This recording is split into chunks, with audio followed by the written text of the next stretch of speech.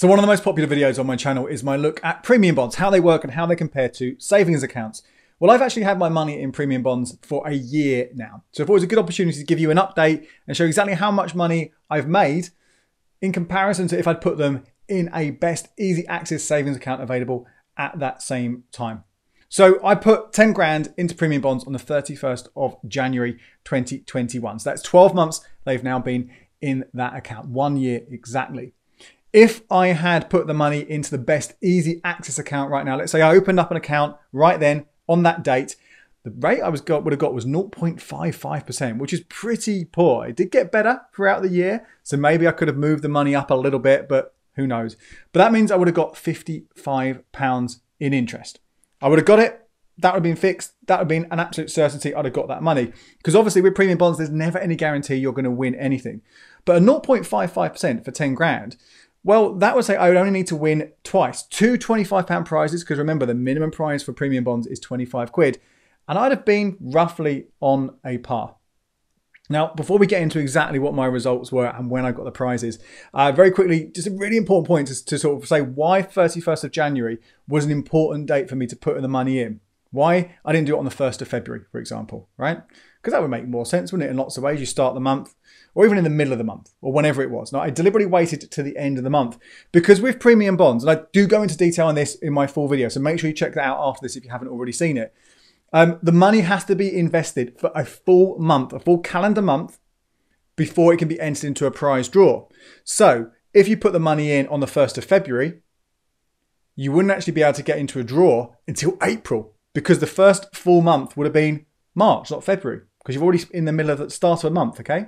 So 31st of January meant the money sat there for February and went into the draw at the beginning of March. So that was the first one I was eligible for. So it's just an important thing to, to caveat there, which is why we're taking it from now. Now, technically, I've only had 11 prize draws so far. There will be the one in February, which will be my 12th try, uh, chance to win some money.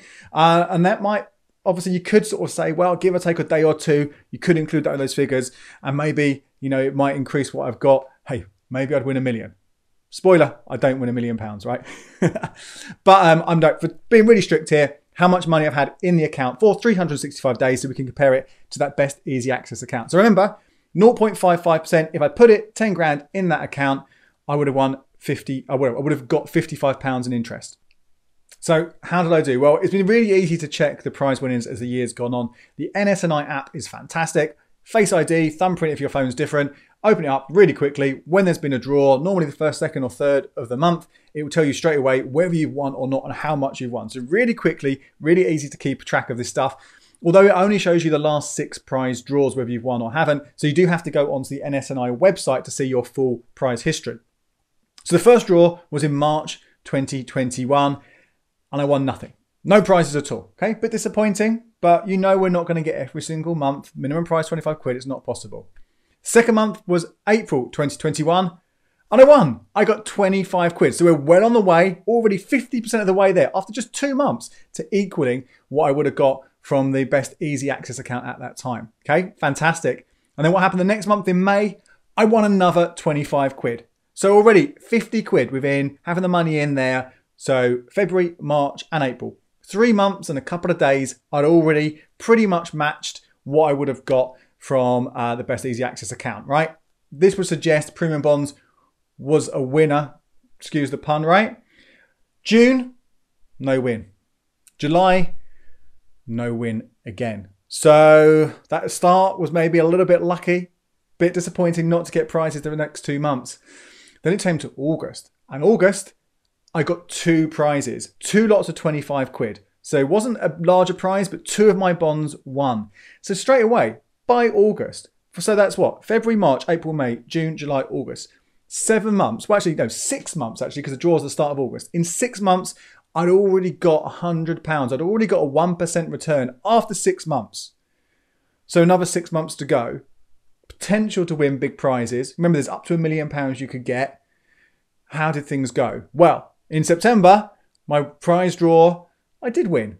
But, and this is interesting, I put more money in in the summer. I put another bunch of cash in, and it was one of those that won me a prize. Again, just 25 quid, again, not one of the big prizes, but not part of that initial stash. So we're not going to count that towards what my return was over a year. In October, no win. Disappointed again. In November, another win, right? £25.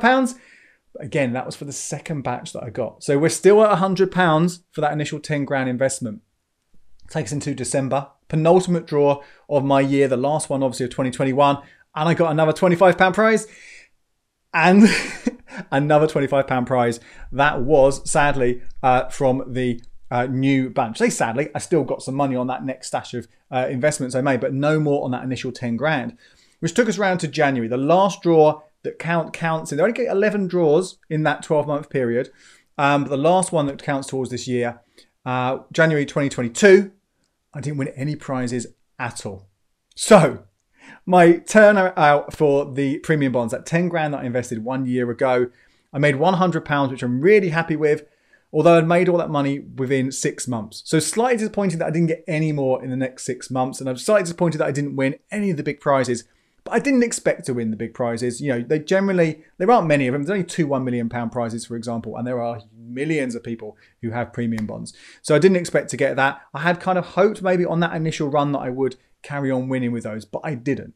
So uh, it, hopefully that's interesting to you guys, give you an idea of how it worked for me. If you're on the fence, not sure whether you're going to give it a go, there's no indication that you will get the same return as me. You might get worse, you might get better, but it is a good indicator of how it worked compared to the other easy access accounts. Now, obviously, that 0.55% that we had a year ago, well, actually, right now, time of filming this, the best easy access account is 0.71%.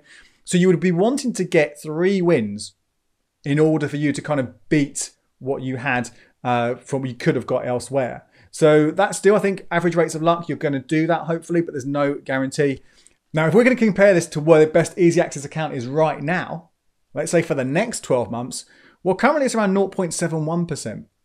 So yes, I would have beaten that again. If I get the same luck next year, for the next 12 months for that same amount of money that's saved in there, then I'm still going to beat it. But it does make it a little bit more margin, slightly slimmer, slightly sort of harder to go to look at. And if we do see easy access accounts improve, if we see them getting better, then there's a good indication that you might want to sort of rethink whether your money stays in premium bonds in 2022. However, as ever, when I do my monthly savings updates, I will give you the heads up on what's going on, what the best rates are. So make sure if you haven't already, you hit subscribe, hit that notification button, and you will get the latest videos every time they are released. My name's Andy Webb. Thank you so much for watching. Here are some more savings videos you might find interesting.